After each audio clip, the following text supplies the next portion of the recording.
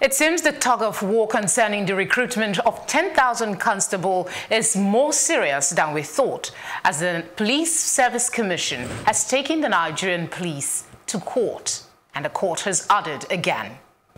The rift between the national chairman of the All Progressive Congress, Adams Oshiomhole, and governor of Edo State, Godwin Obaseki, seems to be deepening, and the presidency doesn't seem to care. This is Plus Politics, and I'm Felicity Ezewuike.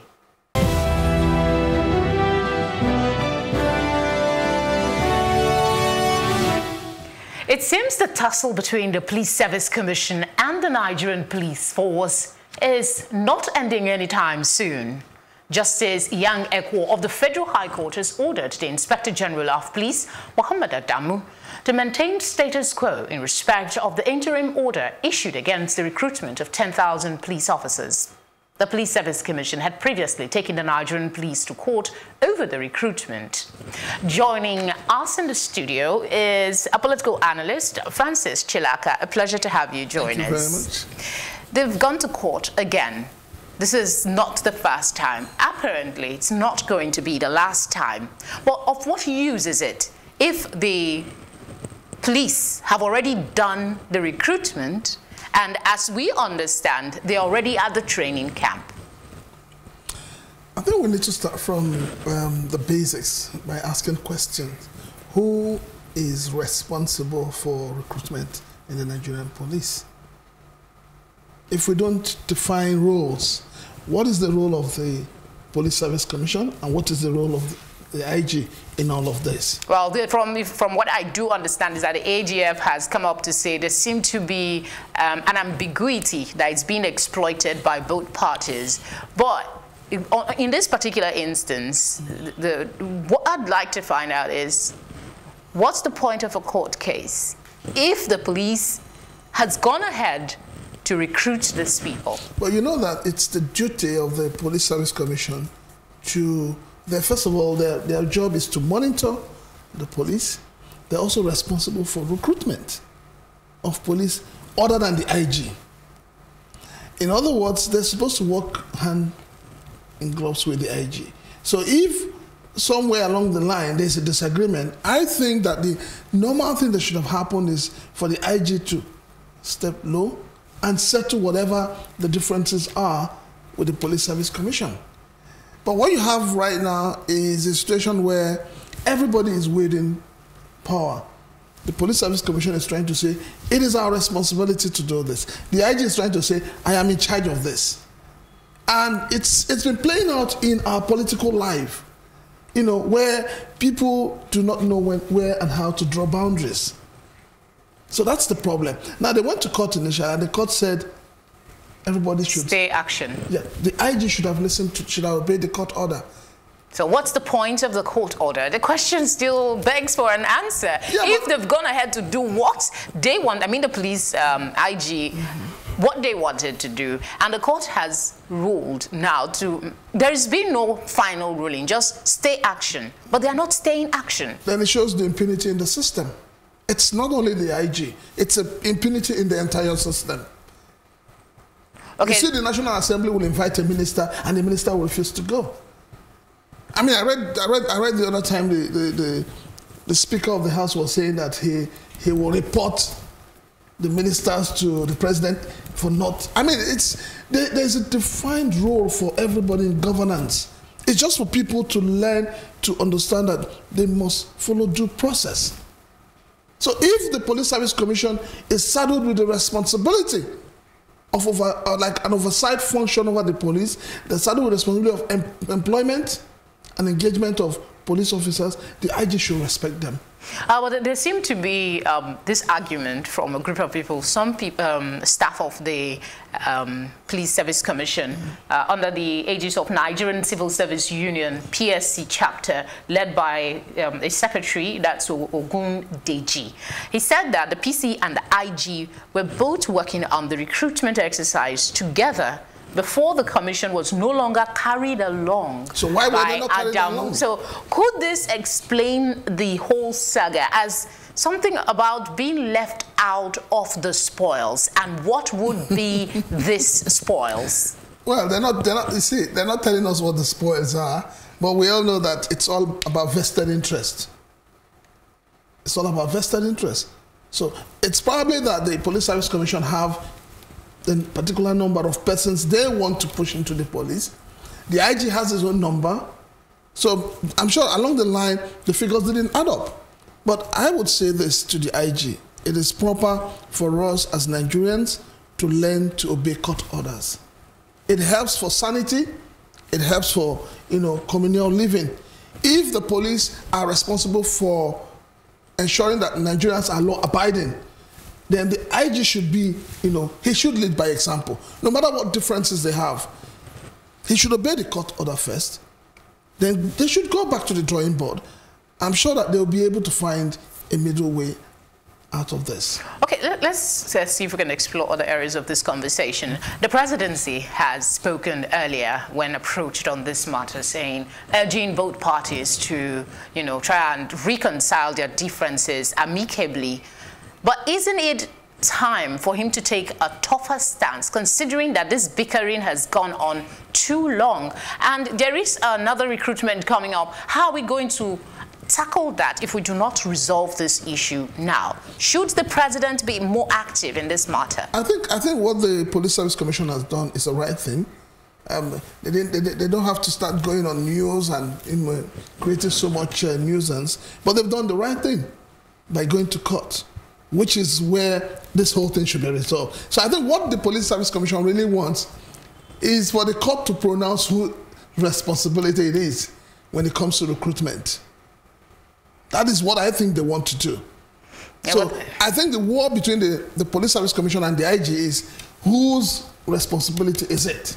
But the, the, the, laws setting up both establishment is quite clear. Even the AGF seem to be in support with the action of, it as the final appointment would be given by the PSC, but they should allow the IG of police to continue with the process of recruitment. This was uh, a, his advice to the president as, as September. We're now in November. Why is it taking so long to have this, at least, let's have, it, it's not a new uh, situation, but would expect a more decisive action from the presidency. Well, I think, I think issues can actually be resolved when the problems are put on the table. The Police Service Commission have not come out formally to say this is our grouse. The IG is also not saying this is the problem. But all we know is that there is a problem. You can't solve a problem that you do not know the source or the root of the problem. So the two arms they cannot work in conflict. They need to work together. Whatever it is that is causing the issue, they should lay it out open to everybody to know so that people can actually give them advice. But the, the, the truth of the matter is that there is something hidden that nobody is saying. What is this hidden thing? You you mentioned something about reviewing maybe the I, laws I, setting I, them think, up. I, think it's it's a normal thing that happens in every establishment when it comes to employment. Everybody has vested interest. But should that be the case? Should we now be um, um, putting um, self-interest at the expense of the interest of Nigerians, credible problem, hands? This is the problem of a quota system. But even with the quota system, all, if I understand this entirely... All they need to do, see, all they need to do is to say, we want to get 10,000 police officers. Divide it across board. That has been done. That has been done. You and I know that has been done.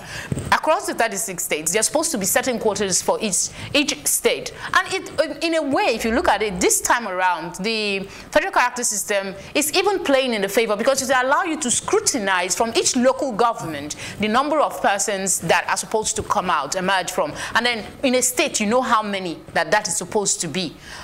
But in this case, we see a lopsided uh, arrangement, presentation from different parts of the country. How are we going to... Two elephants are fighting. Who suffers most? The grass. It's all about power tussle. This issue of power tussle is eating up the fabric of Nigeria. Like I keep saying, until you make certain offices uninteresting, financially, things will not work in this country. Okay, can, let's, let's explore the area of the law you were talking about. Can the National Assembly play a role here? Because even the AGF has suggested that we should review the, the law establishing board and maybe adjust the constitution at to some point. Is that a solution? And will this assembly do it? when we talk about the National Assembly, honestly, I would say that I do not even think we have one right now. Why would you say that? They're new, they're see- new body. We have a How nice many months down the line? I, see when people tell me new, new, new, and- I keep asking, check the whole of Lagos State. The roads are all bad. Go to Imo State. The roads are all bad. Go to Edo State. The same thing. These people are not working, and people sit there and are telling me they are new. How long will they be new? How long do you want But that does not new? mean that we don't have a national I don't. I don't. I haven't seen them in action. But you were here, the elections were conducted. We do have I- people that are supposed to be representing us at the National Assembly. But they're not representing us. This is see, this issue shouldn't really go out of hand the way it is going right now. So what Because don't forget, don't forget that the National Assembly has a committee that has oversight, oversight function. What are they doing? Why must we in this country allow things to go bad before we begin to find solution to it? This issue should have been nipped in the bud ab initio when it all started. The committee responsible for oversight function over the Nigerian police should have called these two bodies to order. Okay, now that we have this situation, um, let's, let's look futuristic now. Um, we have another recruitment of 10,000 constables in 2020. 2020 is just two months away. Which is true. Do you see an end in sight to this um, situation that we have now that will be resolved ahead of the next batch? Because whether we like it or not, this recruitment batch has been done.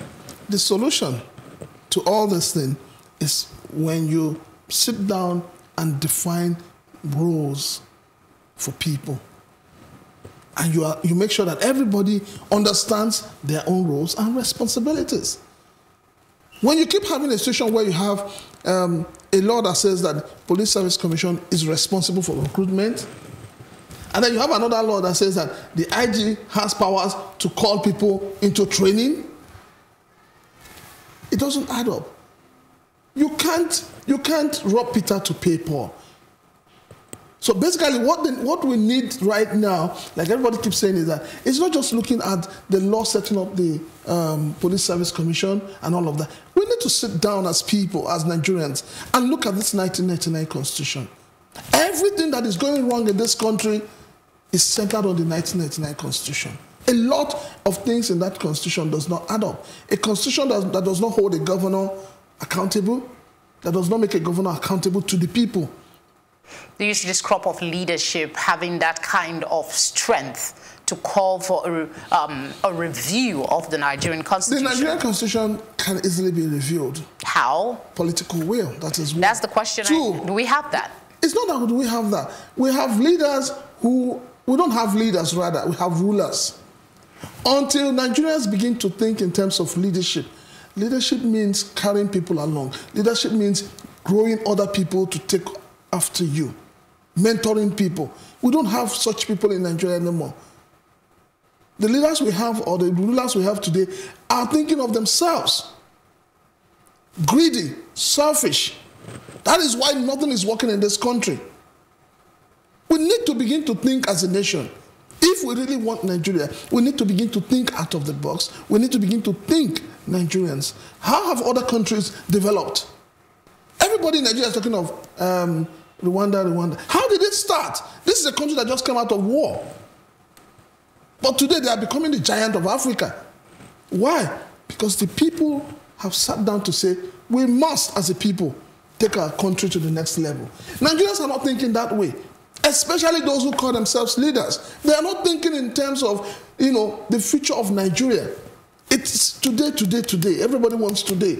It's all about how much money, how much wealth people want to amass. Okay, let's, let's look at another aspect to this conversation. There was um, allegations. Some um, national dailies reported that some of the candidates that were recruited, that were supposed to go for training, were asked to pay, I think, um, 11,000 naira for training, um, for the training kit, in spite of the fact that monies have been allocated to this. It goes back to the um, question I asked about spoils Is there rabid corruption as is being speculated in the entire police uh, system? And is this a manifestation of a far deep, deeper rooted um, uh, menace that the presidency is actually saying he is trying to fight? For these young men that don't have money and women to pay 11,000 naira. Well, um, you know, when, when we talk about people seeking employment and being made to part with money, it didn't start today. It happened with immigration. We all know what happened, and we know how many people lost their lives in the process. If the IG or the Police Service Commission has come out to say, pay 11,000, it's unfounded right now. It's an alleged. It's been alleged. Now, the question I'm going to also ask, which I'm going to throw to the National Assembly, why are our honorable members and senators sitting idly and closing their eyes to all of this? Why, would they, why were they elected to represent us? They are supposed to be the mouthpiece of Nigerians who are unemployed. But you're sort of Let contradicting yourself no, here no, no, because earlier you said yes. that we did not have a national assembly and that you don't believe that these people are working. And now you're putting the blame. Uh, I mean, no, as long as you still have them there, for a lot of people, they have a National Assembly. Okay. I will believe we'll have a National when they begin to work. But I'm saying that so long as we have people who have been elected as senators and honorable members, they should be the mouthpiece of the unemployed Nigerians. They should be the mouthpiece of suffering Nigerians. I expect them at this point in time to say, good, this is what we've heard. Investigate it to the end and let Nigerians know. The unfortunate thing is that even in the journalistic world, we do no longer have investigative journalism in Nigeria. We just have the newspaper headlines will come up today, it ends there. Nobody follows up the story to tell us how it all ended. So it's an allege um, that people are asked to pay money. It is not my duty to find out. No, no, no, no. The paper, I just am just being subtle here. The paper actually spoke with people who told them in their own words. They are repeating what these recruits said. Again, if they go and say the name of these recruits, the tendency is there that they will be victimized. It comes back to the fact that it is still an alleged. Nobody has confirmed it. It is not my duty to do the investigation. We have people, we have organs that should do that. EFCC is busy going after Yahoo Yahoo boys. This is something they should get involved in. Okay, let's let's look at it from another perspective. Let's say um, something happens and then there was a ruling and then um, the courts dismantled this entire process that the uh, police force has embarked on recruiting 10,000 people. What becomes of these recruits who have gone through all this process to become police officers in Nigeria? You, it's the negligence of the two bodies. I believe that there's a solution. And the solution is that the two bodies should sit down on a round table. They cannot use, they cannot, because of their ego, and allow Nigerians to suffer. So they should all, you know, eat their pride, eat their pies, and sit down and say, okay, what is this problem? Let us resolve it for the sake of Nigerians, for the sake of Nigerians who are seeking for employment. So if they refuse to do that, then it comes back to the fact that these people are not interested in the growth and development of Nigeria. Do you see an end to this entire situation? Do you see a resolution, so to speak? For me, the resolution is, all, is already there. Do you see a willingness? Do you ever see a point where both parties will come together and accept to share responsibility for this? When both parties refuse to do that, Mr. President should remove the IG and remove members of the Police Service Commission. Isn't there a process for that?